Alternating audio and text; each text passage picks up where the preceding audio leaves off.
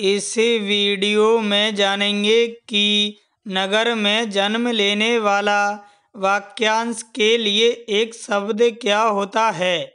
इसका सही जवाब है नागरिक।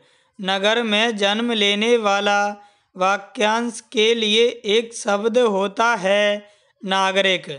त्योहारों का नगर किसे कहते हैं? सही जवाब जानने के लिए वीडियो के डिस्क्रिप्शन में दी हुई लिंक पर क्लिक करें।